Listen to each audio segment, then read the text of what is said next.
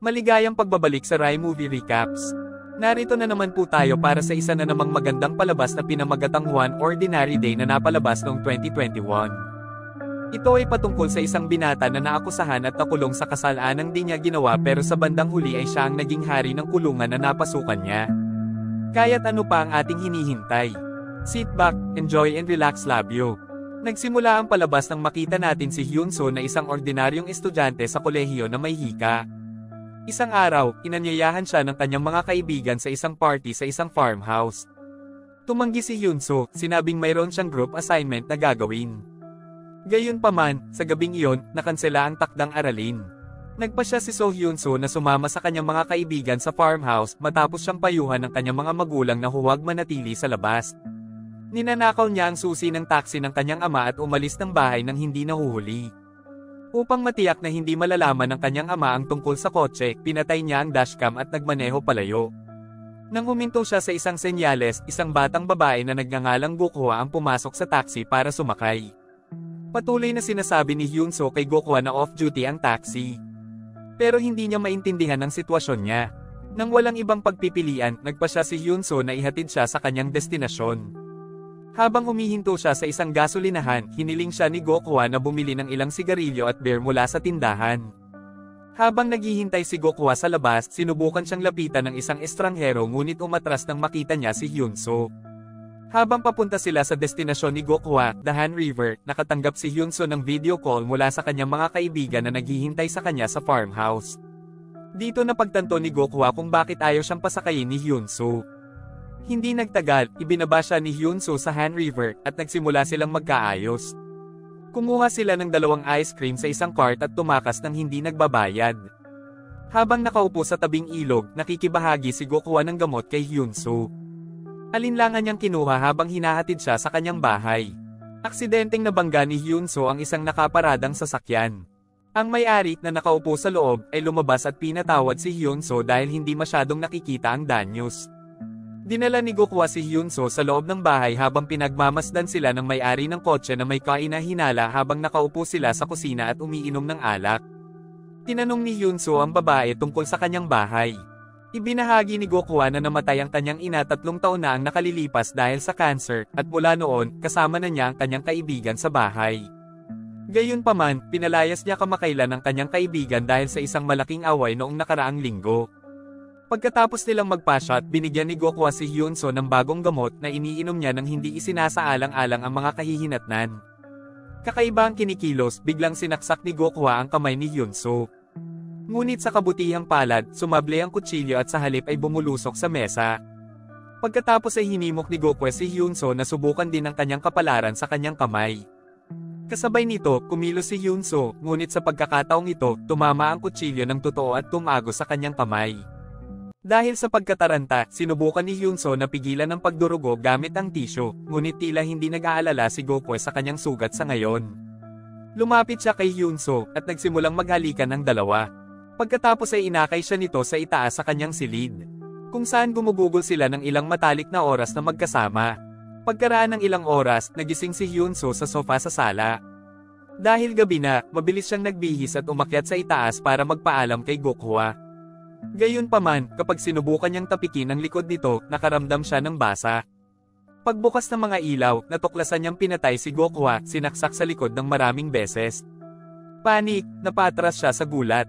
Ang tanging naiisip niya ay ang pagtakas sa pinangyarihan ng krimen sa lalong madaling panahon. Sinubukan niyang magmaneho palayo sa kanyang taxi ngunit napagtanto niyang naiwan niya ang susi sa loob ng bahay. Desperado, sinubukan niyang bumalik ngunit nakalock ang pinto. Binasag niya ang isang side window at nagawa niyang buksan ang pinto mula sa loob. Lingid sa kanyang kaalaman, isang matandang lalaki ang nakasaksi sa kanyang mga kilos mula sa kanyang sariling bahay. Habang isinusuot ni Hyunso ang kanyang jacket na may susi, napansin niya ang kitchen island kung saan niya sinaksak si Gokwa sa kamay. Nang mapagtantong tapos na ang kanyang mga fingerprint, nagmamadaling pinunasan ni Hyunso ang mesa ng tissue na hindi sinasadyang nagkalat ang dugo sa paligid. Nang walang ibang pagpipilian, kinuha niya ang kutsilyo gamit ang kanyang mga kopya at tumakas sa bahay. Sa kanyang pag-uwi, tumakbo siya sa isang checkpoint ng trapiko na nakuha ang atensyon ng mga naka-duty na pulis. Agad na napansin ni Opisyal Hanbail ang posibleng pagkalasing ni Hyunso at nagpas siyang magsagawa ng breath test. Gayunpaman, habang naghahanda siya, namatay ang baterya ng kanyang breathalyzer na pumipigil sa kanya na kumpirmahin ang kanyang kondisyon. Sa sandaling iyon, nakatanggap sila ng ulat ng isang break sa malapit. Nag-aatubili na palayain si Hyunso nang hindi siya sinusuri, nagpa siya si Officer Hanbel na dalhin siya sa eksena. Pagdating nila, napagtanto ni Hyunso na may takot na bahay ni Gokhwa ang kanilang pinupuntahan. Lumalabas na ang parehong matandang lalaki ang tumawag sa mga pulis matapos masaksihan si Hyunso na pumasok sa bahay ni Gokhwa. Mahina ang kanyang paningin kaya hindi niya makita ang mukha ng salarin. Ngunit naramdaman niyang may mali kaya tinawag niya ang mga pulis.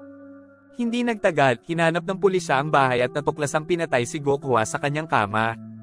Dumating ang higit pang mga opisyal sa pinangyarihan, kabilang si Chief Park, pinuno ng departamento ng Tiktik.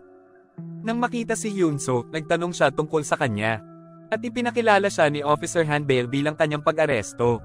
Dalawa pang opisyal ang inatasan na dalhin si Hyunso sa istasyon ng pulisya. Habang nasa biyahe, pinag-uusapan nila kung paano sinaksak ng labintatlong beses sa likod ang babae. Gulat na gulat, tinanong ni Hyunso kung siya ay patay na, kung saan kinumpirma ng mga opisyal ang kanyang pagkamatay. Samantala, ipinaalam ng forensic expert kay Chief Park na lumilitaw na sinadya ang pagpatay dahil sa kalupitan nito. Sa labas ng bahay ni Gokuha, napansin ni Chief Park si Son Han, ang may-ari ng sasakyan na nakatagpo ni Hyun Soo kanina. Si Son Han ay nakikipag-usap sa isang opisyal, binanggit na ang batang lalaki na pumatay sa babae ay tila kakaiba, naiintriga. Tinanong ni Chief Park si Son Han tungkol sa kanyang nakita, sa una ay nag-aatubili na makisali. Pinalis ito ni Son Han bilang wala, gayon paman, nang pinindot siya ni Chief Park ng mga detalyeng tumutugma sa kanyang naunang pahayag, na pagtanto ni Song Han na wala siyang pagpipilian kundi ang makipagtulungan sa interogasyon ng pulisya. Samantala, si Hyun Soo ay dinala sa istasyon ng pulisya, nagulat. Sinubukan niyang tumakas ngunit huminto siya nang makita niyang naglalakad ang matandang lalaki. Napansin ng lalaki si Hyun Soo ngunit hindi siya nakilala. Samantala, bumalik si Chief Park mula sa pinangyarihan ng krimen. Nang makita niyang nandoon pa rin si Hyunso, inutusan niya si Officer Hanbal na magsagawa ng sobriety test sa kanya, may napansin siyang kakaiba sa mga mata ni Hyunso. Inutusan ni Chief Park ang mga opisyal na suriin din kung mayroon siyang droga. Habang tinatalakay ang kaso sa kanyang mga kasamahan, ikinwento ni Chief Park ang mga detalye, isang lalaking nasa edad 20 ang tumakbo palabas ng bahay at tumakas sakay ng taxi. Nang marinig ito, nilino ng matandang lalaki na hindi na kailangan pang pumara ng taxi ang salarin bagkus ay nagmaneho paalis ito sakay ng sariling taxi. Ang pahayag na ito ay nagpapataas ng mga hinala laban kay Hyunso na nahuli habang nagmamaneho ng taxi. Sa paghahanap ng droga, natuklasan ni Officer Hanbile ang isang kutsilyo sa jacket ni Hyunso na nagkukumpirma sa kanyang pagkakasangkot sa pagpatay. Nataranta, napaiyak si Hyunso, paulit-ulit na iginiit na siya ay inosente. Sa kabila ng kanyang mga protesta, siya ay inaresto nang may pagtiyak na magkakaroon siya ng pagkakataong ipaliwanag ang kanyang sarili. Sa silid ng interogasyon, ikinwento ni Hyunso ang kanyang pagbisita sa bahay ni Gokwa kay Chief Park. Itinuro ni Chief Park na si Hyunso ang huling taong nakakita ng buhay ni Gokwa at ang unang nakakita sa kanya na patay, na naging sospek sa kanyang pagpatay. Para mas malalim ang investigasyon, inutusan si Hyunso na tanggalin ang kanyang mga damit para tingnan kung may mga sugat na nagtatanggol. Sa kasamaang palad para kay Hyunso, nakita ng pulis ang mga gasgas na marka sa kanyang likod at mga mantsa ng dugo sa kanyang katawan na inihayag ng luminal at asul na liwanag. Bagamat ang mga gasgas at mantsa ng dugo na ito ay dulot ni Gokwa habang kasama niya si Hyunso sa silid, binibigyang kahulugan ng pulisya ang mga ito bilang huling pagsisikap ng biktima na ipagtanggol ang sarili. Sinubukan ni Hyunso na kumbinsihin ng pulisya na siya ay inosente, ngunit ang kanyang mga pagsisikap ay nabigo, na humantong sa kanyang pagkakalagay sa isang detention cell. Doon, napagmasdan niya ang isa pang ditnido na nakikipag-usap sa kanyang abogado, pakiramdam na maaaring kailangan din niya ng legal na representasyon. Tinanong ni Hyunso ang mga pulis tungkol sa pamamaraan, para lamang pagtawanan. Mapanukso nilang tinatanong kung bakit kailangan niya ng abogado kung hindi siya nagkasala, Samantala, narinig ng abogadong si Jonghan ang tungkol sa kaso ni Hyunsu. Sa una ay nag-aatubili, sa kalaunan ay hindi niya maaaring baliwalain ang kalagayan ni Hyunsu. Lumapit si Jonghan kay Hyunsu sa detention cell at nakikinig sa kanyang salaysay ng mga pangyayari. Matapos marinig ang kwento ni Hyunso, pinayuhan siya ni Jonghan na huwag makipag-usap sa iba nang hindi naroroon ang kanyang abogado. Sa pakikipag-ugnayan na iyon sa pagitan ng duo, nakakuha si Hyunso ng abogado. Pagkatapos makipag-usap kay Hyunso, nakipag-usap si Jonghan sa isang pulis para mangalap ng mga detalye tungkol sa kaso. Doon, nalaman niya na si Chief Park ang nangunguna sa kaso. Pagbalik sa detention cell, pinayuhan ni Jonghan si Hyunso na may dalawang mahalagang punto. Una, binibigyang diin niya na ang katotohanan at hustisya ay walang kaugnayan sa loob ng istasyon ng pulisya. Ang mga katotohanan sa mga pahayag ni Hyunso ay may kaunting timbang. Ang tunay na mahalaga ay ang pagkakaroon ng kalamangan. Pangalawa, hinimok ni Jonghan si Hyunso na panatilihin ang kumpletong katahimikan tungkol sa mga kaganapan sa gabing iyon. Ipinaliwanag niya na habang nagsasalita sila, ang pulisya ay gumagawa ng kanilang sariling salaysay. Sa pamamagitan ng pananatiling tahimik, pinipigilan ni Hyunso ang mga opisyal na mangalap ng higit pang nagpapatunay na ebidensya laban sa kanya. Bukod pa rito, siya ang katahimikang ito ay nagbibigay daan sa kanila na malaman ang aktwal na diskarte ng pulisya sa kaso. Habang nag-uusap sila, nakita si Chief Park na nagtatanong kay Sunhan at kumukuha ng pahayag ni Officer Han Biles. Binigyan din ni Chung Han na si Chief Park ay hindi isang ordinaryong pulis. Siya ay maingat na kumukuha ng impormasyon. Ebidensya man o saksi, gaano man kaliit ang detalye, kumikilos siya na parang tahimik na mandaragit, matiyagang naghihintay sa tamang pagkakataon. Kapag natukoy na niya ang isang kahinaan, tiyak na humahampas siya. Tapat sa mga babala ni Junhan, natuklasan ni Chief Park ang nebulizer ni Hyunso sa pinangyarihan ng krimen ngunit piniling huwag isumite ito sa evidence room. Nang maglaon, nakipag-ugnayan si Chief Park sa stepfather ni Gokhwa, si Mr. Gangpil. Upang ipaalam sa kanya ang kanyang pagkamatay, ipinatawag niya si Gangpil sa istasyon ng pulisya upang makuha ang kanyang pahintulot para sa autopsy ni Gokwa. Napag-alaman na hindi naging close si Gokwa at Gangpil. Sa papel lamang ang kanilang relasyon dahil sa maikling kasal ni Gangpil sa ina ni Gokwa. Matapos pumanaw ang kanyang asawa mula sa cancer tatlong taon na ang nakalilipas, lumipat si Gangpil at hindi na nakita si Gokwa mula noon. Nang maglaon, pinirmahan ni Gangpil ang form ng pahintulot sa autopsy na nagpapahintulot sa pulisya na magpatuloy sa kanilang investigasyon. Nang maglaon, ipinatawag ang mga magulang ni Hyunso sa himpilan ng pulisya at binigyan ng silid upang makipag-usap ng pribado sa kanilang anak. Lingid sa kanilang kaalaman, nakikinig si Chief Park sa kanilang pag-uusap sa pamamagitan ng CCTV camera. Nang malaman ng tungkol sa presensya ng mga magulang ni Hyunso, nagmadali si Jonghan sa istasyon upang pigilan ang anumang hindi sinasadyang mga pahayag na maaaring pagsamantalahan ni Chief Park laban kay Hyunso. Pagpasok pa lang niya sa silid, napagtanto ni Chief Park na nasira ang kanyang plano. Sa kabutihang palad, walang sinabi si Hyunso na maaaring magdulot sa kanya ng problema.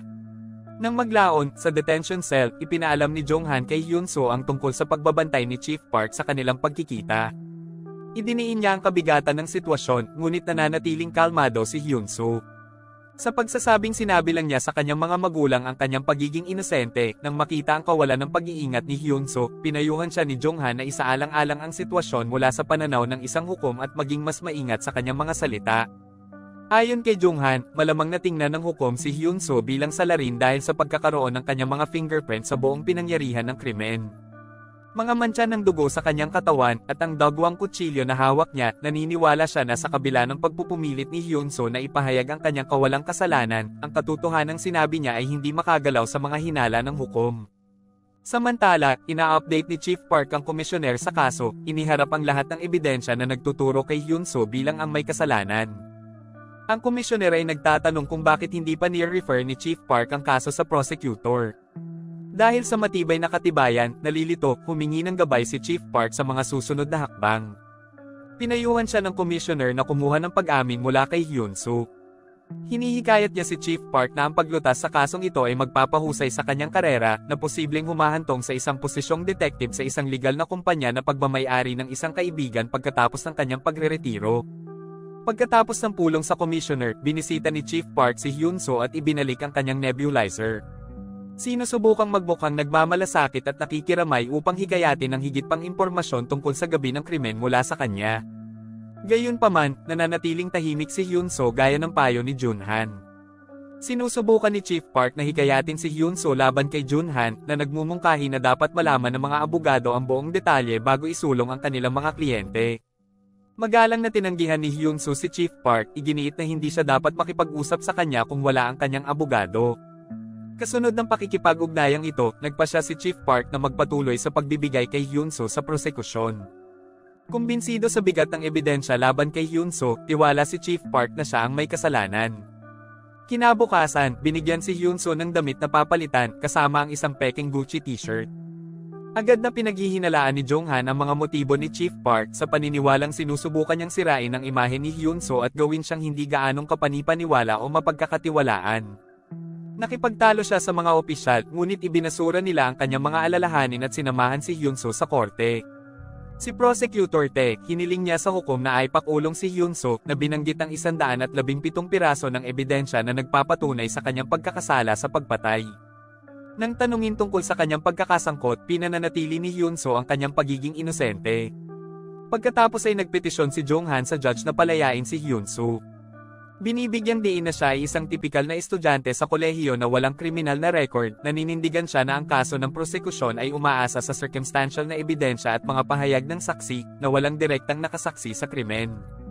Sa makatuwid, iginiit ni Jung Han na si Hyun So ay dapat palayain upang sapat na makapaghanda para sa kanyang paglilitis. Kinausap ni Prosecutor Tehi ang hukom na binibigyang diin ang kabigatan at kalupitan ng krimen. Sa matibay na ebidensya laban kay Hyun Suk, nagpa ang hukom na ipadala siya sa kulungan habang nakabinbin ang mga karagdagang paglilitis na nagsasabi na mananatili siya roon hanggang sa mapatunayan ang kanyang pagiging inosente. Natagpuan ni Hyun Soo ang kanyang sarili sa isang selda kasama si Sang So at isang wimp inmate na target ng brutal na pagpapahirap at pambubuli ng gang sa bilangguan. Ang wimp ay nagpapakita ng mga sintomas ng panic disorder. Pinalala ng walang humpay na pang-aabuso mula sa mga kapwa bilanggo. Sa gabi, kapag nakapatay ang mga ilaw ng kulungan, nagpupumilit si Hyunso na umangkop sa kanyang bagong kapaligiran na nakakaranas ng pagkabalisa at kakapusan sa paghinga. Umaasa siya sa kanyang nebulizer para pakalmayan ang sarili at patatagin ang kanyang paghinga. Sa pagsapit ng umaga, muling dumanas ng matinding pambubugbog ang wimp sa kamay ng gang sa bilangguan. Ang pinuno ng gang ay si Biko, na si Dusik ang nagsisilbing kanang kamay niya. Kilala sa kanyang pagkahilig sa pagpapahirap sa mga mahihinang bilanggo tulad ng kasama sa selda ni Hyun Suk. Kabilang sa mga kilalang bilanggo ay si Dude Jeet na binyansagang layo ng Northern Prison.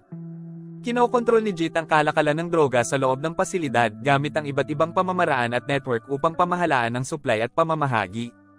Ang kanyang pinagkakatiwalaang associate si Bone Setter ay tanyag sa kanyang kadalubhasaan sa pagdudulot ng mga pinsala sa buto. Lumalawak ang impluensya ni Jite sa buong bilangguan na kinokontrol ang lahat mula sa mga transaksyon sa droga hanggang sa mga pangunahing bilihin tulad ng mga sigarilyo. Nang bumisita si Hyunsu sa infirmary para kunin ang kanyang nebulizer, nagdadala siya ng mga painkiller para sa kanyang kaselmate. Gayunpaman, biglang lumitaw si Dusik at hinarap si Hyunsu, pinagbantaan siya sa pagtulong sa kanilang biktima. Iginiit niya sa kanilang grupo. Si Dusik ay gumagalaw para sa lakayin si Hyunso, ngunit si Jitae ay pumijitan sa pamamagitan ng pagsipol, na sinenyasan si Dusik at ang kanyang mga kasama na umatras at umalis sa selda nang hindi sinasaktan si Hyunso. Dahil sa interbensyon ni Jitae, naligtas ang buhay ni Hyunso. Samantala, lumapit si Junghan kay Prosecutor Tehi at humingi ng akses sa mga file ng kaso ni Hyunso. Una nang tinanggihan ni Taehi ang kanyang kahilingan. Ngunit si Junghan ay nagsampa na ng DMER, isang formal na aplikasyon para ma-access ang mga file. Pagkatapos ay lumapit siya sa isa pang tagayusig na sangkot sa kaso at natuklasan ang kanilang diskarte para pilitin ang pag-amin mula kay Hyunso. Sa kabila ng mga protesta ni Hyunso sa pagiging inosente, plano nilang kasuhan siya ng mga pagkakasala sa droga, panggagahasa, at espesyal na pag-atake upang matiyak ang paghatol. Nang maglaon, tinawagan ni Chief Park si Jonghan at tinanong kung sigurado ba siya sa pagiging inosente ni Hyunso. Habang naniniwala si Jonghan sa pagiging inosente ni Hyunso, kumbinsido si Chief Park na si Hyunso ay isang mamamatay tao. Sa 30 taong karanasan sa larangan, nalaman ni Chief Park na ang pinakamahirap na mahuli ang mga kriminal ay ang may mga mata na tulad ng kay Hyunso. Sa paniniwalang si Hyunso ay nagpapanggap lamang na inosente, sinubukan ni Chief Park na ipaunawa kay Junha na ang kliyenteng ipinagtatanggol niya ay maaaring hindi kasing inosente gaya ng iniisip niya. Determinado pa rin na ipagtanggol si Hyunso, lumapit si Jonghan sa kanyang mga magulang at ipinaalam sa kanila ang tungkol sa kaso. Kahit na ayaw niyang mabigatan ng mga ito, kailangan din niyang mabuhay. Kaya binibigyan niya sila ng discounted 50,000 won fee voucher para sa pagtatanggol kay Hyunso sa korte. Pinayuhan niya ang mga ito na huwag umasa sa isang public defender dahil saglit nilang nakilala ang kliyente at tinatanggap na lamang ang parusang ibinibigay ng hukom. Sa panahon ng pag-uusap, nakatanggap si Jonghan ng mensahe na si Prosecutor Tae ay nagsasagawa ng press conference ngayon. Sa kanyang press conference, ipinakita ni Tae si Hyun Soo bilang isang rapist at mamamatay tao. Ipaalam sa publiko kung paano niya ginawa ang krimen. Ang masama pa nito, isiniwalat niya ang kanyang pagkakakilanlan na nagpapahintulot sa lahat sa bilangguan na malaman kung ano ang akusasyon kay Hyunso. Bagamat lahat sila ay mga kriminal, higit nilang hinahamak ang mga rapist at mamamatay tao. Kung ang isang tao ay isang bagong dating, ang mga bagay ay magiging mahirap para sa kanila. Panik sa lahat ng negatibong atensyon mula sa mga preso, tinawag ni Hyunso si Junhan. Bago makapagsalita si Hyunso, binalaan siya ni Jonghan na near record ang tawag, kaya dapat siyang mag-ingat. Nang magtanong si Hyunso tungkol sa mga paglilitis sa kaso, tumugon si Jonghan na magsasagawa ng pagdinig ang hukuman upang suriin ang legalidad ng pagkakakulong sa loob ng sampung araw. Inaaliw niya si Hyunso at hinihimok siyang harapin ang pressure at pagkabalisa hanggang doon. Pagkatapos ng press conference ni Taehi, pinahinto ni Jonghan ang ilan sa mga press at ipinakilala ang kanyang sarili bilang ang akusado na abogado. Inihahayag niya ang kanyang panig ng kwento sa publiko na sinasabing inaakusahan lamang ng prosekusyon si Hyun Soo batay sa circumstantial evidence at ang pulisya ay nagmadali sa paghusga sa paglalarawan sa kanya bilang ang pumatay. Ang panayam ay pinakinggan ni Mika Young, isang abogado at pinuno ng isang kilalang law firm. Ang kaso ni Hyun Soo ay nakapukaw ng kanyang interes kaya nagpa siya siyang ipagtanggol siya sa korte. Nagpadala siya ng isang baguhang abogado, si Sujin, sa tahanan ni Hyunso upang kausapin ang kanyang mga magulang tungkol sa pagkuha sa kaso. Iniimbitahan ng mga magulang sa kanyang opisina kung saan tinalakay ni Mikyang kung paano si Junhan ay isang third-rate attorney na kilala sa kanyang trabaho sa mga maliliit na nagkasala. Inilarawan siya bilang isang panloloko lamang, ipinangako niya sa mga magulang ni Hyunso na iuuwi niya ang kanilang anak at gagawin ito ng libre. Natutuwa ang mga magulang ni Hyunso na marinig na isang kilalang abogado ang magtatanggol sa kanilang anak. Kaya pumayag silang palitan ng abogado ng kanilang anak. Sa kabilang banda, si Hyunso ay nahaharap sa malubhang reaksyon mula sa mga kapwa bilanggo mula nang may broadcast ang mga detalye tungkol sa kanyang kaso. Hanggang sa bilangguan ay dinukot siya, tinakpan ng kanyang ulo ng isang itim na tela at dinala siya sa isang madilim na silid. Doon, tinangka nilang sakalin siya dahil sa umano'y karumaldumal niyang mga krimen. Nang malapit na siyang mamatay, sinenyasan ng isang gwardya ng bilangguan ang leader ng gang na palayain siya. Samantala, si Junghan ay nagkunwaring tumatawag kay Chief Park para makapasok sa pinangyarihan ng krimen. Bahay ni Gokwa. Gamit ang kanyang koneksyon sa pinuno, matagumpay siyang nakapasok sa lugar. Habang naghahanap, natuklasan niya ang isang pagpipinta na may label na Hyojong sa isang pakete na may parehong pangalan na pumukaw sa kanyang interes. Pagkatapos ng masusing paghahanap sa bahay, bumili siya ng ilang damit para kay Hyunso at binisita siya. Bilang karagdagan sa mga damit, binigay ni Jonghan kay Hyunso ang kanyang mga account sa preso kung saan nagdeposito siya ng maliit na halaga. Nakaramdam ng awkward si Hyunso dahil kailangan niyang ipaalam kay Junhan na mayroon na siyang bagong abogado. Nagsisimula siya sa pamamagitan ng pagpapahayag ng pasasalamat kay Junhan para sa kanyang mga pagsisikap sa panahon ng kanyang mahihirap na panahon at pagkatapos ay ibinunyag na ang abogadong si Nikayon ay kakatawa na ngayon sa kanya sa korte, kahit na medyo nagulat si Junhan. Kinikilala niya na si Mikayon ay isang kilalang abogado na mabisang humawak sa kaso ni Hyunsu. Nang subukan ni Hyunso na ibalik ang mga damit na binili ni Junghan, pinilit ni Junghan na itago ang mga ito at binati siya ng magandang kapalaran bago umalis sa kulungan. Bumalik sa bilangguan, dumating ang bone setter sa selda ni Hyunso upang dalhin siya kay Jitae. Nagtipon si Jitae ng ilang mga bilanggo upang tanungin sila tungkol sa kung sino ang maaaring nagpalit ng sigarilyo sa kanyang likuran. Pinaghihinalaan niyang kilala ni Hyunso ang salarin, ngunit si Hyunso ay masyadong natatakot na ibunyag ang pangalan ng tao. Sa pagmamasid sa pag-aalinlangan ni Hyunso, inutusan ni Jitae ang bone setter na baliin ang mga buto ng mga bilanggo hanggang sa may umamin. Sa kabila ng pagsaksi sa isa sa mga bilanggo na nagtitinda ng sigarilyo ng mas maaga sa araw na iyon, nananatiling tahimik si Hyunso na natatakot sa kahihinatnan para sa lalaking sangkot.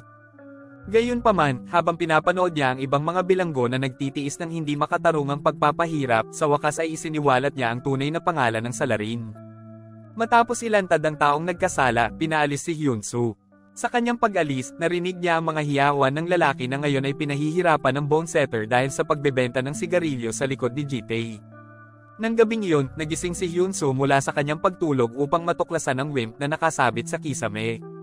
Lumilitaw na ang patuloy na pagpapahirap ay naging hindi mabata para sa kanya na humantong sa kanya upang piliin ang kamatayan kaysa sa kanyang naghihirap at walang kahulugan na buhay.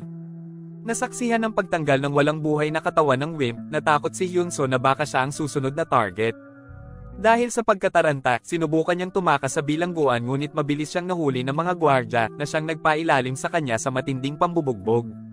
Bilang parusa sa kanyang pagtatangka sa pagtakas, si Hyunso ay nakakulong sa nag-iisa. Sa kabilang banda, tinalakay ni Prosecutor Taehi kay Chief Park ang opsyon na magbigay ng polygraph test kay Hyunso. Ipinaliwanag niya na kung tumanggi si Hyunso sa pagsusulit, maaari itong gamitin laban sa kanya sa korte upang magbungkahi ng pagkakasala. Kahit na ipahiwatig ng polygraph na nagsasabi siya ng totoo, hindi ito tatanggapin bilang ebidensya. Pagkatapos ay tinanong niya si Chief Park kung tiwala siya na si Hyunso ang pumatay. Sumagot si Chief Park na pinagkakatiwalaan lamang niya ang ebidensya na nagtuturo kay Hyunso bilang ang may kasalanan. Kinabukasan, dinala si SSU sa himpilan ng pulisya kung saan binigyan siya ng pagkakataong sumailalim sa polygraph test. Prosecutor Tay, sinubukan niyang takutin siya, nagbabala na kung walang malakas na depensa, maaari siyang harapin ng kamatayan o habang buhay na sentensya. Iminumungkahi niya na ang pagkuha ng polygraph ay maaaring palakasin ang kanyang pag-aangkin ng kawalang kasalanan. Nakialam si Chief Park na hinihimok ang SSU na isaalang-alang ang pagkuha ng polygraph test sa kabila ng hindi pagkakatanggap nito sa korte. Iminumungkahi niya na maaari nitong maimpluwensyahan ang opinyon ng publiko sa pabor ng HSU. Posibleng humahantong sa isang mas mapapamahalaang buhay sa bilangguan at magdulot ng kaligayahan sa kanyang mga magulang. Pinahintulutan ni Prosecutor Taehi si Hyunso ng oras na kumonsulta sa kanyang abogado, ngunit sa ilalim ng impluensya ng kanilang panghihikayat, pumayag siya sa pagsusulit ng hindi humihingi ng legal na payo. Matapos makuha ang pahintulot ni Hyunso, nakipag-ugnayan si Chief Park kay Junghan upang ipaalam sa kanya ang sitwasyon. Nang matuklasan na ang bagong abogado ni Hyunso ay si Mikyon, agad siyang nakipag-ugnayan sa kanya ni Chief Park at ipinaalam sa kanya ang tungkol sa desisyon ni Hyunso na sumailalim sa polygraph test. Alam ang mga potensyal na panganib para kay Hyunso, ipinadala ni Mika Young si Sujin sa National Forensic Service para suportahan ang kanilang kliyente. Samantala, nakipag-ugnayan si Jonghan sa kanyang dating asawa na nagtatrabaho sa NFS at humiling ng pabor tungkol sa paparating na polygraph test. Dumating siya sa NFS para matiyak na maayos ang lahat para kay Hyunso. Habang papunta sila sa NFS, tinanong ni Chief Park si Hyunso kung gusto niyang magpaalam kay Gokuha bago ang cremation nito. Sumang-ayon si Hyunso, ngunit nang makita ang kanyang walang buhay na katawan na may autopsy incision, nalungkot siya. Na-trigger ang kanyang hika, at inabot niya ang kanyang nebulizer, ngunit nakialam si Chief Park na nagpapaalala sa kanya na hindi pinapayagan ang pag-inom ng anumang gamot bago ang polygraph test. Hindi nagtagal, dinala si Hyunso sa polygraph examination room. Kung saan sinasamahan din siya ni Sujin. Bago ang pagsubok, pinayuhan siya ni Jungun laban dito, ngunit masyadong desperado si Hyunso na patunayan ang kanyang kawalang kasalanan. Ipinaliwanag ni Sujin kay Hyunso ang procedure. Siya ay tatanungin ng labing isang katanungan, anim sa mga ito ay may kaugnayan sa kaso. Binibigyang diin niya ang kahalagahan ng pananatiling kalmado. Dahil ang mga resulta ng pagsusulit ay nakadepende sa kanyang mental state. Nagsisimula at naging maayos ang pagsusulit hanggang sa tinanong ng examiner kung sinaksak ni Hyunso si Gokhwa. Dahil sinaksak ni Hyunso si Gokhwa noong nagiinuman sila, hindi niya masasabi ngayon ng totoo. Napagtanto ang bigat ng sitwasyon, umalis si Sujin sa silid upang ipaalam sa kanyang supervisor ang tungkol sa mahirap na kalagayan. Nang malaman ang tungkol sa problemadong tanong, pumasok si Jungun sa silid ng pagsusuri at sinimulang banggitin ang mga paglabag sa panuntunang ginawa ni Chief Park. Sinusuportahan ni Sujin ang kanyang mga pahayag na binibigyang diinan nilabag ni Chief Park ang attorney at law act sa pamamagitan ng pagharap kay Hyo na Aidmanda ang isang prosecutor nang hindi nakikipag-ugnayan sa kanyang abogado. Itinuturo din nila na ang mga individual na may mga isyu sa paghinga ay itinuturing na hindi karapat-dapat na kumuha ng polygraph test. Dahil ang akusado na abogado ay may karapatang huminto at tumanggi sa pagsusulit, matagumpay na napahinto ni Sujin ang paglilitis, na pinipigilan si Hyunso na lalong gawing komplikado ang kanyang sitwasyon. Bagamat agad na huminto ang pagsusulit, nananatiling hindi nasisiyahan si Hyunso, pakiramdam niya ay nabigo siyang patunayan ng kanyang pagiging inosente. Bumalik sa bilangguan, si Hyunso ay nakaharap ni Dusik. Inihayag ni Dusik na ipinaalam sa kanya ni Hyunso pagkatapos ng kamatayan ng Wim. Na humantong sa mga otoridad na bugbugin siya at ilagay sa solitary confinement. Ngayon, naghihiganti si Dusik. Bago niya mapahamak si Hyun-soo, pumagit na si Sang-soo, dahilan para umatras si Dusik. Nang maglaon, tinawag ni Ji-tae si Hyun-soo at binigyan siya ng isang libro sa Criminal Procedure Act na nagmumungkahi na dapat magpasya si Hyun-soo kung gusto niya ang kanyang proteksyon. Kinabukasan, habang naghahanda si Hyun-soo na umalis sa bilangguan para sa kanyang pagdinig sa pagsusuri, isang guard, na kumikilos ayon sa anim na utos, ay binigyan siya ng isang pares ng salamin. Ang intensyon ay ipakita siyang inosente at mahina. Sa kabilang banda, si Gokhwa ay na-cremate at si Jonghwan ay dumalo sa seremonya, pinagmamasdan ng kanyang mga kaibigan. Ang isa sa kanila ay si Hyo Jong at ang batang babae na ang pangalan ay nasa isang painting sa bahay ni Gokwa. Sa paghusga sa kanyang kilos, siya ay tila tunay na nalulungkot sa pagkamatay ng kanyang kaibigan at malamang na hindi masangkot sa pagpatay. Habang nagbabrowse sa social media profile ni Gokwa, nakita ni Jonghan ang larawan niya sa labas ng rehabilitation center.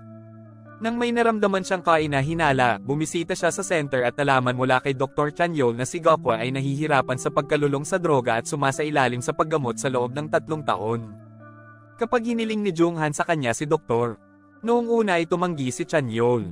Pagkatapos ay nagbanta si Junghan na isusumbong ang doktor para sa pagre-reseta ng narcotics kay Gokhwa. Nang walang ibang pagpipilian, ibinigay ni Dr. Chanyol ang isang malaking bilang ng mga medikal na file ni Gokhwa mula sa nakaraang tatlong taon. Sa kabilang banda, ang pagdinig sa pagsusuri ay nagsimula sa pag-uusig ni Prosecutor Tae-hee sa hukom na panatilihing nakakulong si Hyun-soo dahil sa tindi ng kanyang sinasabing krimen.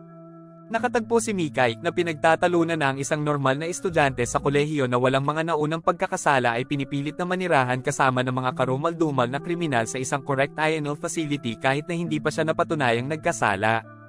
Inutusan niya si Hyun-soo na ipakita sa mga hukom ang mga pasa at peklat mula sa pagpapahirap sa kanyang katawan. Matapos ipakita ni Hyun-soo ang kanyang mga peklat, sumingit si Tae-hee, ipinaliwanag na sinubukan ni Hyun-soo na tumakas mula sa pasilidad. Kaya naman siya ay binugbog ng mga gwardya at ngayon ay may mga galos.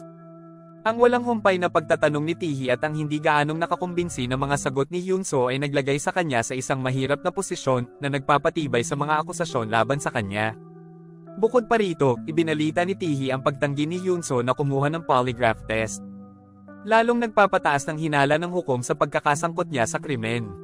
Matapos marinig ang magkabilang panig, inanunsyo ng hukom na ang pagkakakulong kay Hyunso ay makikinabang sa katatagan ng lipunan. Dahil hindi alam ni Mikyang ang pagtatangka ni Hyunso na tumakas, mahigpit niyang pinayuhan siya na huwag siyang panatilihing muli sa dilim. Sinabi niya sa kanya na kung alam niya, maaaring nakaisip siya ng angkop na tugon bago ang pagdinig.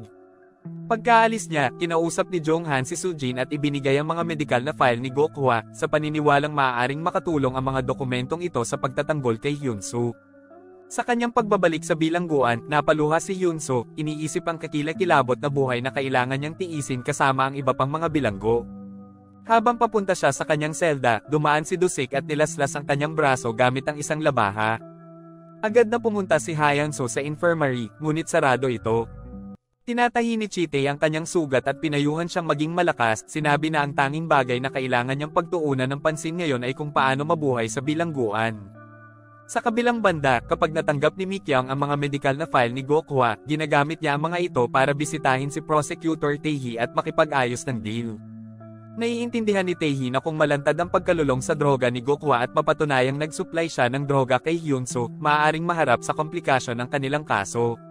Bukod pa rito, wala pa siyang nakikitang malinaw na motibo sa pagpatay. Isinasaalang-alang ang mga salik na ito, nagmungkahi si Taehi ng deal kay Mika Young. Kailangang harapin ni Hyunso ang 17 taong sentensya para sa panggagahasa at aksidenteng pagpatay.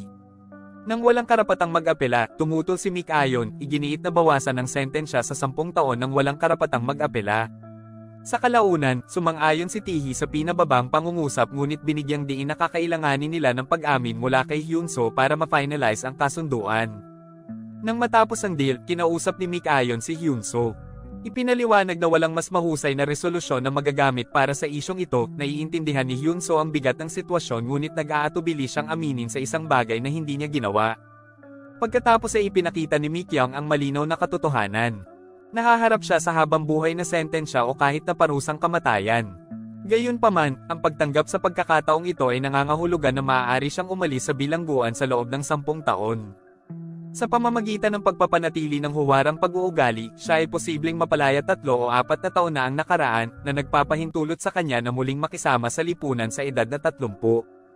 Bilang isang eksperto sa batas, pinayuhan niya si Hyunso na samantalahin ang pagkakataong ito na isinasaalang-alang ito ang pinakakanais-nais na solusyon na magagamit. Nang marinig ni Junghan ang tungkol sa deal, binisita niya si Hyunso. Kinikilala niya na makikita ito ng sinumang abogado bilang isang mahusay na alok. Ngunit personal niyang pinaniniwalaan na ang pagtanggap nito ay itatakwil si Hyunso bilang isang ex-convict habang buhay, isang label na magmumulto sa kanya magpakailanman. Sa pagsisimula ng pagdinig, ang hukom ay nag-aanunsyo na ang nasasakdal ay handang umamin kapalit ng isang plea deal. Nang tanungin kung pinatay niya ang babae, tumulo ang luha sa mga mata ni Hyunso. Hindi maling umamin sa isang krimen na hindi niya ginawa at hindi gustong dalhin ang mantsa ng isang dating convict sa buong buhay niya. Sinabi niya sa mga hukom na hindi niya pinatay si Gokhua. Ang pagtanggi ni Hyunso ay nagpapahina sa kredibilidad ni Mikayan na nagdulot sa kanya ng pagtataksil sa kanya dahil sa pagtataksil sa kanyang tiwala. Idineklara niyang tapos na siya sa kaso at lumabas ng courtroom, na iwan si Hyunso na walang pagpipilian kundi bumalik sa kanyang malungkot na buhay sa bilangguan. Gaya ng inaasahan, nilapitan ng Jusik si Hyunso at pinilit siyang bumili ng tatlong pakete ng sigarilyo mula kay Jitae. Sa takot para sa kanyang kaligtasan, sumunod si Hyunso at ginamit ang kanyang card ng inmate para bilhin ang mga sigarilyo. Si Jitae, batid na hindi naninigarilyo si Hyunso, naiintindihan niya ang sitwasyon ngunit hindi siya nakikialam. May pera lang si Hyunso para sa isang pakete, ngunit sa kabila nito, inutusan ni Jitae ang kanyang kasama na bigyan siya ng dagdag na pakete. May dalawang pack sa kamay, inihatid sila ni Hyunso sa Jusik. Nabinugbog pa rin siya sa hindi pagdadala ng tatlong pakete. Naglagay pa si Dusik ng isang nakasinding sigarilyo sa bibig ni Hyunso na nasusunog ang kanyang dila. Kinabukasan, tinawagan ni Hyunso ang kanyang ama at hinimok siyang maglipat ng pera sa kanyang account. Pagkatapos bumili ng isa pang pack mula kay Jitae, inihatid niya ito sa Dusik para lang mabugbog muli. Sinubukan ni Hyunso na itulak si Dusik palayo na ikinagalit ng tulisan. Nasinunog ng lighter ang kamay ni Hyunso. Maya-maya lang, dumating si Jitae, dahilan para umalis ang mga magnanakaw. Dinala si Hyunsu sa infirmary, kung saan ginagamot ang kanyang sugat. Para turuan ng leksyon si Dusik, inutusan ni Jitae ang bone setter na bugbugin siya ng husto. Pagkatapos, inutusan niya si Dusik na humingi ng tawad kay Hyunsu. Bilang miyembro ng gang, sabi ni Dusik, tumanggi si Dusik na nag-udyok kay Jit na suntukin siya sa mukha bago buhusan ng kumukulong tubig ang kanyang kamay. Dumating ang mga prison guard na nasa payroll ni Jit at kinaladkad si Dusak palayo. Sa kabilang banda, nagpa siya si Mikang na huwag bumaba sa kaso dahil ito ay magpapakita ng hindi maganda sa kanyang pagkatao. Aabutin ng tatlong buwan upang makumpleto ang lahat ng mga pagsubok at naniniwala si Mikang na ito ay sapat na oras upang makakuha ng ilang mga benepisyo. Gayunpaman, hindi niya mismo hahawakan ng kaso. Itinalaga niya ito kay Sujin, binibigyan siya ng pagkakataong magkaroon ng karanasan sa larangan. Dahil sa kanya na ngayon ang kaso, nagpa siya si Sujin na makipagtulungan kay Junghan. Binisita ni Junghan si Hyunso sa bilangguan at ipinaalam sa kanya na siya na ang kanyang abogado. Siya at si Sujin ay mag apply para sa isang pagsubok ng hurado na maaaring tumagal ng hanggang isa o dalawang buwan. Bago umalis, hinimok ni Junghan si Hyunso na huwag mawala ng pag-asa at patuloy na lumaban. Nang maglaon, habang si Hyunso ay nasa kanyang selda, dumating si Bonesetter upang dalhin siya kay Jitae. Kailangan ni Jitae si Hyunso para magsagawa ng isang errand. Kailangan pumunta si Hyunso sa infirmary na na-dislocate ang balikat at ipagamot ito. Nang magpanik si Hyunso, pinatahimik siya ni Jitae at hiniling sa kanya na ibalik ang pabor. Tiniyak niya kay Hyunso na madaling papasukin ng doktor ang kanyang balikat at magiging maayos siya. Kasunod nito, inutusan ni Jitae si Bonesetter na i-dislocate ang balikat ni Hyunso. Pagkatapos ng pinsala, dinala si Hyunso sa infirmary kung saan ang kanyang balikat ay ibinalik at nakabenda. Sa pagbabalik sa selda, tinanggal ni Bonesetter ang kanyang benda at ibinalik siya sa kanyang selda. Pagkatapos ay pinakuloan niya ang benda, nagiiwan ng puting nalalabi sa ilalim ng palayok. Si Aling GT ay dinudurog sa pulbos at nilalanghap na parang gamot. Sa kabilang banda, tinawagan ni Jungan ang kanyang dating asawa at muling humingi ng tulong sa kanya.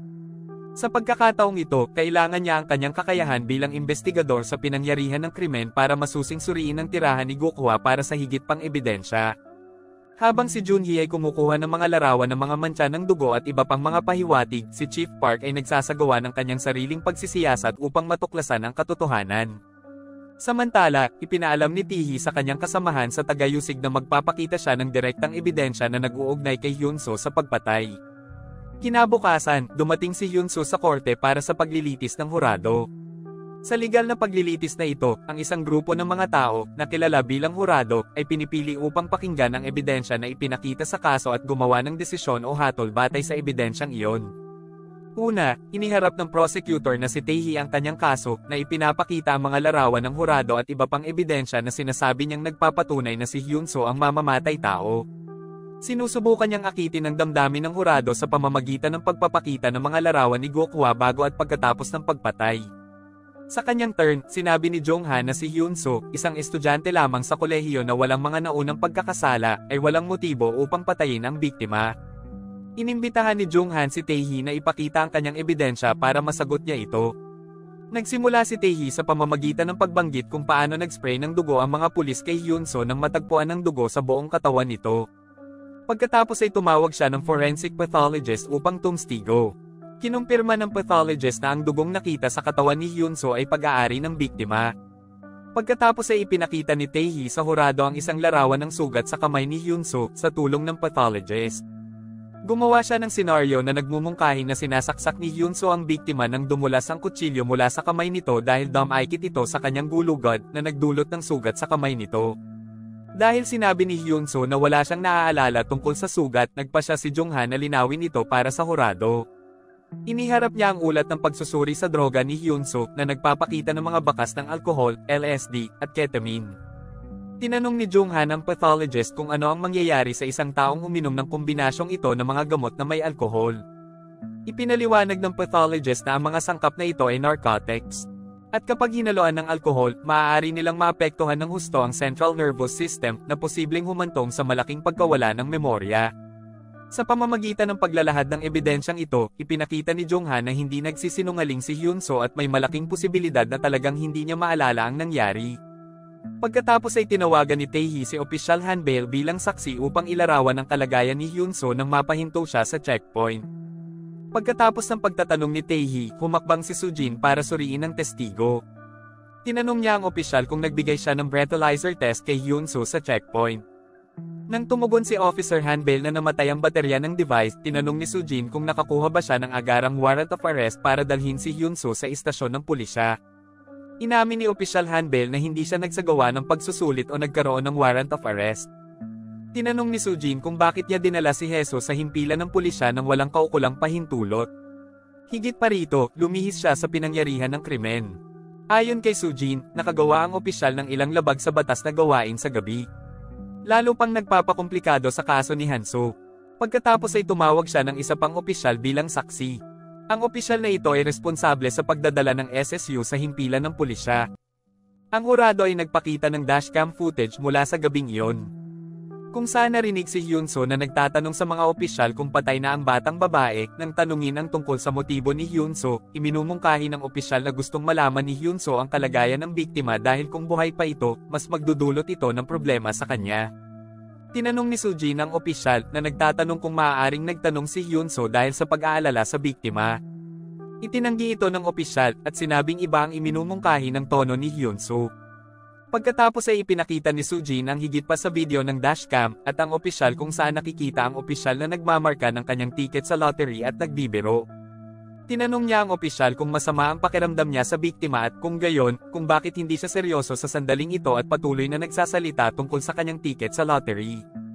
Ang mga nagtatanong na tanong ni Sujin ay hindi nakapagsalita sa opisyal.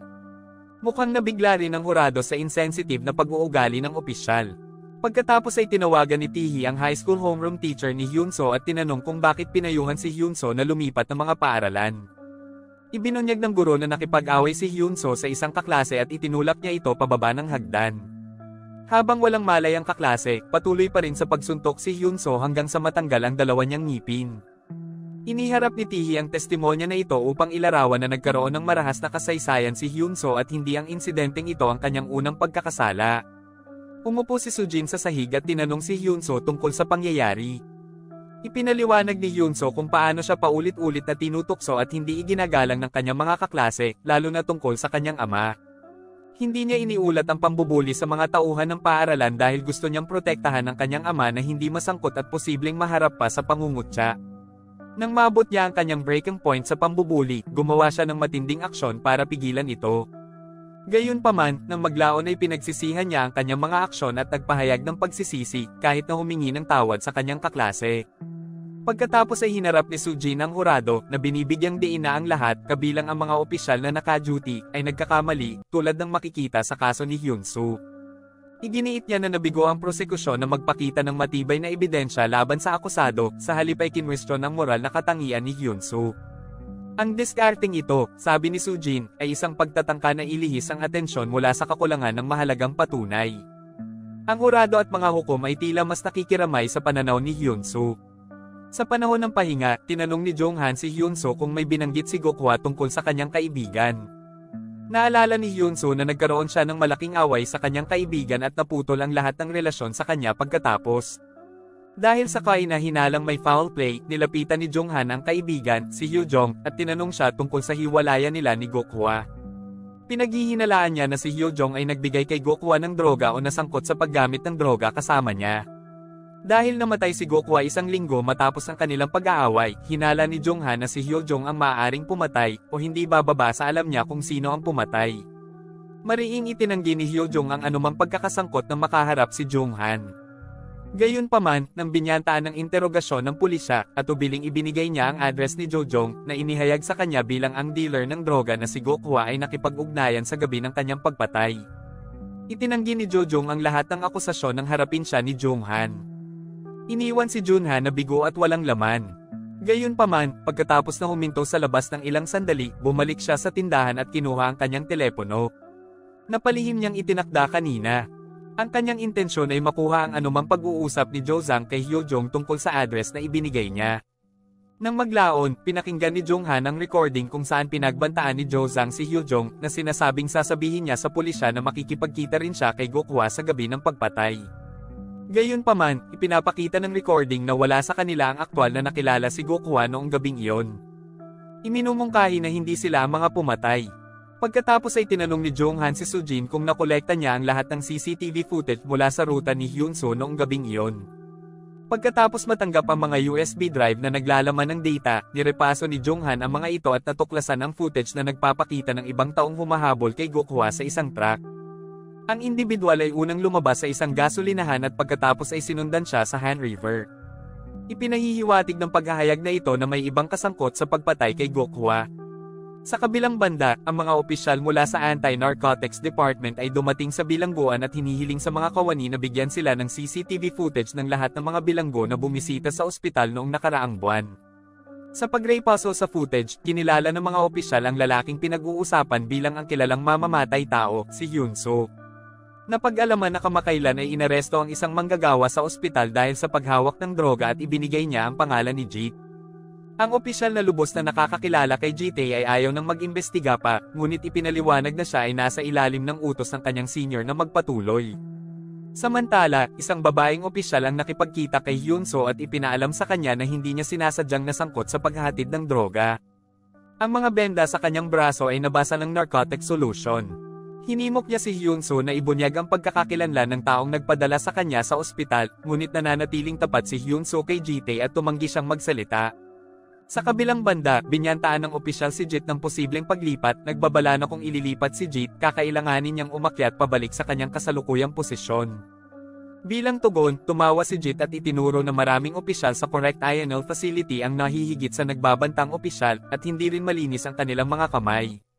Sa sandaling iyon, nakatanggap ang opisyal ng tawag mula sa kanyang superior na nagtuturo sa kanya na umalis sa kulungan at huwag nang istorbohin pa si Jitay. Pagkatapos nilang umalis, nagpasalamat si Jitay kay Hyunso sa pananatiling tahimik. Bilang pasasalamat, binigyan siya ni Jitay ng telepono na nagpapahintulot kay Hyunso na tawagan ng kanyang ama.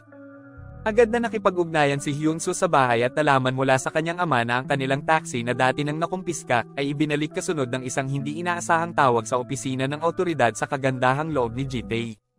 Sa kabila ng pagtatangka ni Hyunso na ibalik ang telepono pagkatapos ng tawag, iginiit ni Jitae na itago niya ito. Sa kabilang banda, natuklasan ni Jung Han na ang lalaking sumusunod kay Gokhwa noong gabing iyon ay si Chi Ulho na dating nagtrabaho bilang isang surir. Nang bumisita sina Jung Han at Sujin sa dating pinagtatrabahuan ni Cholho, nalaman nilang natanggal siya noong isang buwan dahil sa kanyang status bilang sex offender. Nakasuot pa rin siya ng electronic anklet. Hinihiling nila sa may-ari na tingnan kung naghatid si Cholho ng parsela sa bahay ni Gokhwa noong nakaraang buwan. Kinumpirma ng may-ari na ginawa niya at nagsampa ng reklamo si Gokhwa tungkol sa parsela. Samantala, nagpatuloy ang paglilitis ng hurado at si Tae ay tinawag niya si Chief Park bilang saksi. Kasabay nito, hinanap ni Jung Han ang address ni Cholho at hinarap siya doon tungkol sa CCTV footage. Itinanggi ni Cholho na kilala niya si Gokhwa at sinabing una niya itong nakita sa gasolinahan. Nang banggitin ni Jung Han na sinusundan ni Cholho si Gokhwa ng gabing iyon at may inihatid sa kanyang bahay noong nakaraang buwan. Nagiging defensive si si Olho kapag inakusahan siyang pumatay kay Gokwa. Nag-react si si Olho sa pamamagitan ng paghawak ng palakol at paghahagis nito kay Junhan na mariing itinanggi ang mga paratang. Binalaan siya ni Junhan na anuman ang kanyang mga aksyon, kailangan pa rin niyang humarap sa korte at magbigay ng alibay para sa oras ng pagkamatay ni Gokwa. Para ipagtanggol ang sarili, naglabas si Junghan ng isang metal stick na lalong nagpagalit kay Cholho. Bago lumaki ang sitwasyon, dumating ang mga pulis at inaresto si Cholho para sa tangkang pagpatay. Inaasahan na ito ni Junghan at inalerto na niya muna ang mga pulis. Samantala, sa korte, patuloy na naglalahad si Chief Park ng mga dahilan kung bakit naniniwala siyang si Hyunso ang pumatay.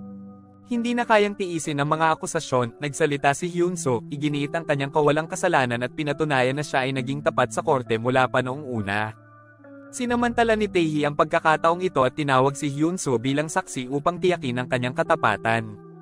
Sinubukan ni Sujin na makialam, ngunit si Hyunso ay nahulog sa bitag ni Taehi nang hindi sinasadya.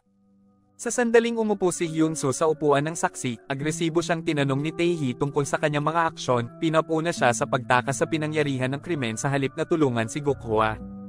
Ipinapangatwiran niya na kung siya ay tunay na tapat na natili sana siya upang tulungan ng babaeng kritikal na nasugatan. Ang walang humpay na pagtatanong ni Taehi ay binitag si Hyunso na humantong sa kanya na aminin na hindi niya tiyak kung pinatay niya si Gokhwa o hindi. Ang pagpasok na ito ay gumaganap sa diskarte ni Taehi na nagpapahina sa kredibilidad ni Hyunso. Pagkatapos ng paglilitis, nakatanggap si Sujin ng tawag mula kay Junhan na nagtanong tungkol sa kinalabasan. Dahil sa emosyon, napaiyak si Sujin at humingi ng paumanhin kay Jonghan para sa kanyang kawalan ng kakayahan na pigilan si Hyunso na umupo sa upuan ng saksi. Bilang resulta ng kanyang hindi kumbinsido na pahayag sa witness stand, muling ipinabalik si Hyunso sa bilangguan. Binisita ni Jonghan si Hyunso sa bilangguan upang mag-alok ng call iwan, tinitiyak sa kanya na sa kabila ng lahat ay walang nagbago. Si Hyunso, na labis na naapektuhan ng walang humpay na pagtatanong ni Tihi, ay nagsimulang magduda sa kanyang sarili.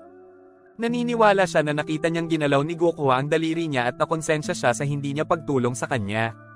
Sinusubukang aliwin siya ni Jungon. Ipinapaliwanag na malamang na namatay kagad si Gokwa at anumang paggalaw na naramdaman niya ay maaaring dahil sa rigor mortis, isang natural na proseso ng post-mortem kung saan tumitigas ang mga kalamnan pagkatapos mamatay. Gayunpaman, si Hyunso ay labis na nalulula sa depresyon upang tanggapin ang paliwanag na ito.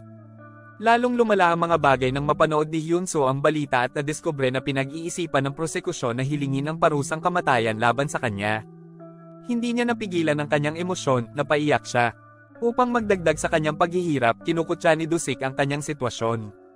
Ninakaw niya ang telepono ni Hyunso at tumanggi itong ibalik. Nang bumalik si Hyunso sa kanyang cell at nakitang nawawala ang kanyang telepono, nagalit siya. Hinarap niya si Dusik at hiniling na ibalik ang kanyang telepono. Matapos marahas na bugbugin siya ni Dusik, sinubukan ni Hyunso na lumaban ngunit pinatunayang walang laban sa batikang gangster. Ang alitan ay nag-iwan kay Hyunso na may maraming sugat sa kanyang mukha. Sa kanyang kawalan ng kakayahan na linisin ang kanyang pangalan sa korte, lahat ng nasa bilangguan, kasama ang kanyang kasama sa selda na si Sangso, ay nagsimulang maniwala na siya ay nagkasala.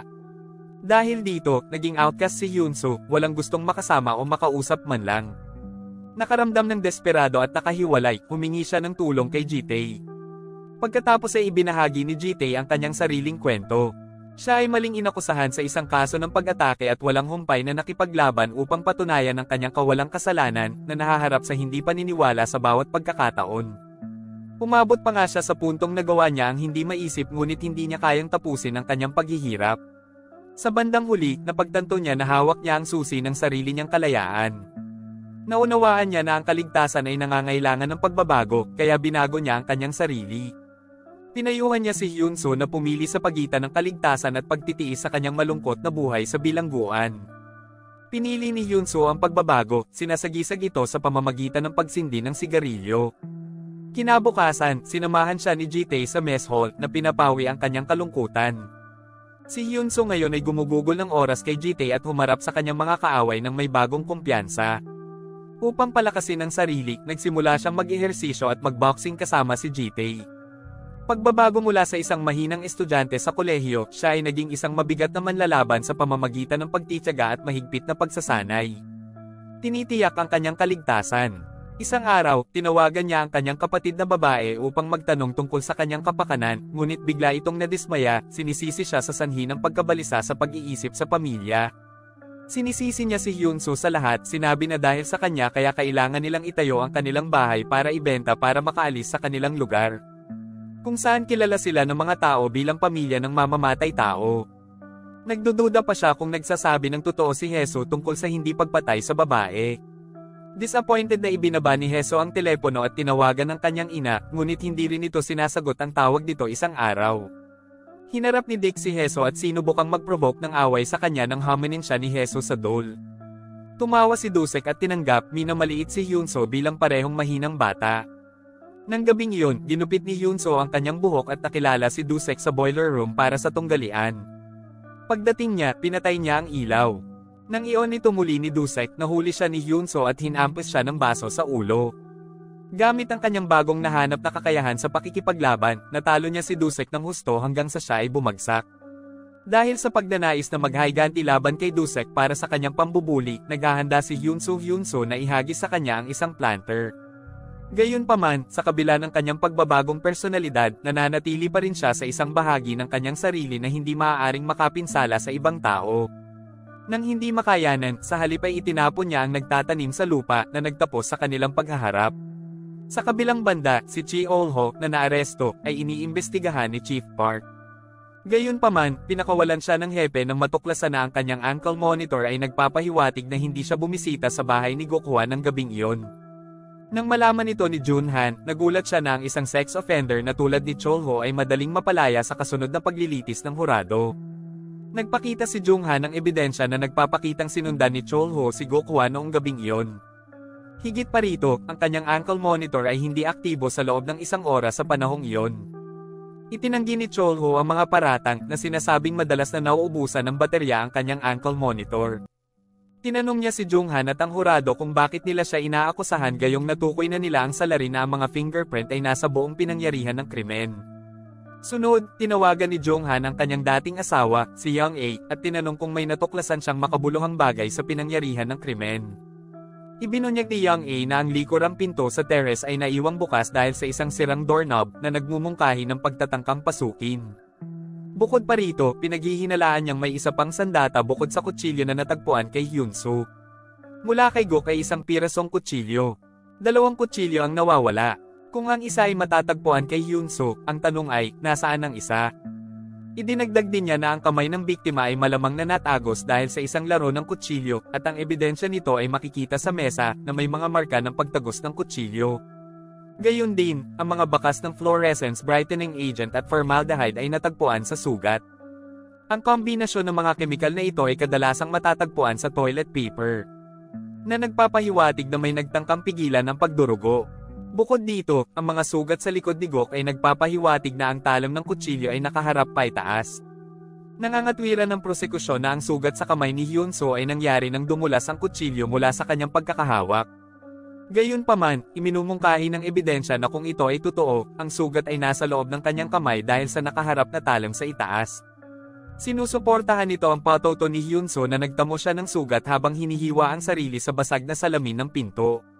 Bukod pa rito, sa kabila ng pagiging kaliwang kamay ni Hyunso, ang ulat ng pagsusuri ay nagmumungkahi ng isang malakas na posibilidad na ang pumatay ay kanang kamay. Sa halip na makisali sa counter-questioning, sinubukan ni Taehi na ipahiwatig na si Jong A ay sangkot sa kaso dahil sa kanyang nakaraang relasyon kay Jong Han. Bilang tugon, iginiit ni Jong A na hiniwalayan niya ang kanyang asawa dahil hindi na niya ito matitiis. Binibigyang diin na ang kanyang pagkakasangkot ay hinihimok ng kanyang paniniwala sa pagiging inosente ni Hyun-soo. Nagtalo pa siya na karapatan ng hurado na tumanggap ng independenteng pagsusuri ng ebidensya mula sa ibang eksperto. Bumalik sa selda, kinukulit ni Hyun-soo ang kanyang braso tulad ng kay Jitae. Tinanong niya si Jitae kung bakit naniniwala siyang hindi siya ang pumatay. Nagtatanong kung siya nga ba. Sumagot si Jitae na hindi mahalaga sa kanya kung si Hyun-soo ang pumatay o hindi. Ang mahalaga ay kung ano siya sa kulungan. Nang maglaon, hinarap ni Dusek si Hyun-soo at dinala siya sa kanyang gang leader, si Baeko. Balak ni Baeko na parusahan si Hyun-soo sa pambubugbog kay Dusek. Napapaligiran ng mga gangster na pagtanto ni Hyunso na hindi niya kayang talunin silang lahat at nagpas siyang sumuko. Bago siya mapahamak ni Baekho na magitan si Dusik at sinampal ng malakas si Baekho dahil sa pagtanggi niyang tanggapin ang pagkatalo sa patas na tunggalian laban kay Hyunso. Babala kay Baekho na layuan si Hyunso, umalis si Dusik sa boiler room. Sa kabila nito, pinayuhan niya si Hyunso na manatiling maingat, alam niyang hindi basta-basta uurong si Baekho. Sa paglilitis ng hurado, ipinatawag ni Junghan ang ama ni Gokhwa, si Gang Pil, bilang saksi. Napag-alaman na si Gang Pil ay nag-file kaagad ng insurance claim pagkatapos ng kamatayan ni Gokhwa at nakatanggap ng payout na 700,000 won. Itinuturing ni Junghan na posibleng motibo ito para sa pagpatay at hinihiling na magbigay ng alibay si Gang Pil para sa gabing iyon. Sinabi ni Gang Pil na nasa isang hotel siya kasama ang kanyang kasintahan. At pinatutunayan ng CCTV footage ang kanyang alibay na nagpapatunay na nagsasabi siya ng totoo. Pagkatapos ay tinawag ni Jonghan si Songhan sa kinatatayuan at tinanong siya tungkol sa kanyang mga aktibidad malapit sa bahay ni Gokhwa noong gabi ng pagpatay. Sa una, sinabi ni Songhan na nagpapahinga lang siya sa kanyang sasakyan. Ngunit habang lumilipas ang panahon walang nakikita sa kuha ng CCTV sa kapitbahayan na siya ay nagkukubli sa bahay ni Gokhwa ng maraming beses sa isang linggo. Sa wakas, inamin ni Songhan ang katotohanan. Nagkaroon siya ng crush sa kaibigan ni Gokhwa, si Hyo Jong, at kanina pa siya inistok. Nagreklamo pa siya sa mga pulis at naaresto siya dahil sa pagstok. Kinumpirma ni Hyo Jong na nagsasabi nga ng totoo si Songhan. Sa bawat sospek na isa-isang nalist si Jonghan ay naiwang hindi sigurado kung ano ang susunod na gagawin. Kinabukasan, tinawagan niya si Chief Park sa witness stand at tinanong kung bakit hindi isinumite ang nebulizer ni Hyunso bilang ebidensya at kung bakit ito ibinalik sa kanya. Higit pa rito, itinuro ni Jonghan na mayroong apat na karagdagang sospek sa kaso, wala ni isa sa kanila ang na-interview sa kabila ng may mga motibo na saktan si Gokhwa. Maaaring ninais ng stepfather ang kanyang mana. Maaaring nagiganti ang kaibigan para sa pagtulog ni Gokhwa kasama ang kanyang kasintahan na si Gichong na nagtustos ng droga sa biktima. Bukod dito, si Shi Olho ay naobserbahang sumusunod sa kanya noong gabing iyon at may kaalaman tungkol sa kanya. Sa kabila ng mga potensyal na lead na ito, hindi na interview ni Chief Park ang alinman sa mga sospek na ito. Ipinagtanggol ni Chief Park ang kanyang mga aksyon sa pamamagitan ng pagsasabi na kumikilos siya batay sa ebidensya na nagtuturo kay Hyunso bilang mamamatay tao. Tungkol sa nebulizer, ipinaliwanag ni Chief Park na ibinalik niya ito kay Hyunso dahil kailangan niya ito noon.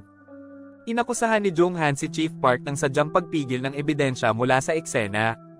Pinagtatalunan niya na inalis ni Chief Park ang nebulizer para pigilan si Hyunso na lumitaw bilang isang inosenteng binata na may hika sa harap ng mga hukom. Sa gayon ay napanatili ang imahe niya bilang isang marahas na mamamatay tao. Pinanapan ni Jonghan si Chief Park sa pagtutok lamang kay Hyunso bilang sospek at pagpapabeya sa pakikipanayam sa iba pang potensyal na sospek na nagmumungkahi ng pagkiling at pagtarget sa investigasyon. Upang tapusin ang pagdinig, hinarap ni Taehi ang hurado at kinikilala ang mga pagkukulang sa sistema ng hustisya. Gayunpaman, binibigyang diin niya na si Hyunso ay nananatiling sospek na may nagpapatunay na ebidensya. Natagpuan ang kanyang mga fingerprint sa pinangyarihan ng krimen. Tinangka niyang sirain ang ebidensya at napuno siya ng dugo ng biktima. Bumalik sa bilangguan, niregalo ni Jitae si Hyunso ng isang smartphone na nagpapahayag ng pag-asa para sa kanyang malapit na paglaya. Samantala, naghahanda si Junghan para sa kanyang huling talumpati para sa paparating na paglilitis ng hurado. Ang matinding stress ay nagpapalala sa kondisyon ng kanyang balat na nagiiwan sa kanya na kitang-kita ang pamumula at pulang mukha. Kinabukasan, si Junhan ay nagpahayag ng kanyang huling talumpati, at pagkatapos, ang hatol ng hurado ay nakolekta, para sa mga miyembro ng hurado ay hinanap si Hyunso na nagkasala, habang ang lima ay naniniwalang siya ay inosente, sa kabila ng poll. Hindi ito ang huling desisyon. Ang hukom sa huli ay nagpasya, isinasaalang-alang ang mga boto ng hurado. Sa wakas, inanunsyo ng hukom na talagang nagkasala si Hyunso sa pagpatay kay Gokhwa at hinatulan siya ng habang buhay na pagkakakulong. Ang mga mata ni Jonghan ay napuno ng luha at ang mga magulang ni Hyunso ay umiyak ng malakas nang marinig na ang kanilang anak ay gugugol sa natitirang bahagi ng kanyang buhay sa bilangguan. Bumalik si Hyunso sa bilangguan at inutusan ng kanyang mga magulang na huwag na siyang bisitahin. Habang siya ay nagdurusa sa likod ng mga bar, si Prosecutor Taehi ay tumanggap ng promosyon, habang si Chief Park ay pinarangalan ng isang medalya para sa kanyang dedikadong serbisyo bago siya nagretiro bilang isang respetadong detective. Si Shite ay nagdalamhati na ang sistema ng hudisyal ng Korea ay pinapaboran lamang ang mga mayayaman. Paniniwalang hindi maaabot ang hustisya para sa mga walang pera, kapangyarihan, o koneksyon. Kinabukasan, habang nasa bakuran sina Jit at Yunso, sumisilip si Dusek sa likod ni Jit at pinutol ang kanyang lalamunan. Si Jit ay sumuko sa matinding pagkawala ng dugo sa lugar. Mabilis na nahuli ng mga gwardya ang baliw na si Dusek at pinalo. Si Jit ang nag-iisang positibong impluensya sa buhay ni Hyunso. Siya ay isang kaibigan na naniniwala sa kanya at nagturo sa kanya kung paano mabuhay. Kasama si Ji Taegon, ang pag-iral ni Hyunso ay parang walang kahulugan. Sa kabilang banda, tumanggi si Junghan na sumuko sa kaso. Naaalala niyang may napansin siyang kamera sa kotse ni Sunhan sa kanyang pagsisiyasat. Dahil alam niyang matagal nang sinusubaybayan ni Sunhan ang kaibigan ni Gokhwa, hinala ni Junghan na maaaring may nakuhanan ng kamera ng isang bagay na mahalaga. Hinarap niya si Sunhan at hiningi ang mga litrato, ngunit ipinaalam sa kanya ni Sunhan na kinuha ng pulisya ang lahat ng mga larawan sa panahon ng kanyang pag-aresto. Humingi ng tulong si Junghan sa isang opisyal upang makuha ang mga litrato mula sa kamera ni Sunhan. Habang sinusuri ang mga ito, nakagawa siya ng hindi inaasahang pagtuklas. Footage ng doktor ng Gapos Rehabilitation Center, Chan Yol, pag-alis sa kanyang bahay. Sa pagsuri sa mga talaan ng tawag ng biktima, napansin ni Jungan ang numero ni Chon Yol na lumilitaw ng maraming beses. Gamit ang ebidensyang ito, nilapitan niya ang retiradong Chief Park at ibinunyag na si Dr. Si Chon Yol ay may relasyon kay Gokhwa. Gayunpaman, nang malaman niya ang tungkol sa kanyang kasal, tinapos niya ang relasyon na hindi naging maganda si Chon Yol. Una nang sinabi ni Chief Park na wala na siyang magagawa ngayon, ngunit ipinaunawa sa kanya ni Jonghan kung paano nating lahat na gustong panatilihing masaya at ligtas ang ating mga mahal sa buhay habang nagbibigay ng sakit sa iba. Naimpluwensyahan ng kanyang mga salita, tinalakay ni Chief Park ang bagay kay Taehi, at pagkatapos ng ilang deliberasyon, kumilos sila. Makalipas ang ilang araw, binisita ni Jonghan si Hyunso sa bilangguan at naghatid ng balita. Ang tunay na pumatay ay nahuli na at umamin sa pagpatay kay Gokhwa.